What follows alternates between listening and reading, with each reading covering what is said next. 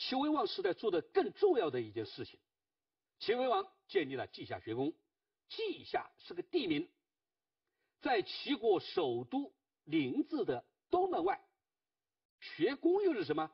用现在的话说，就是一个社会科学研究院，召集各门各派的代表人物，在这里都给他们住上好房子，给予一个大夫的待遇，让他们不治而议论，就是不具体管事专门的从事理论研究。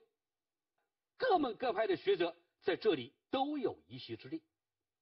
这在当时来说，是整个华夏大地上唯一的一个最大影响的学术中心。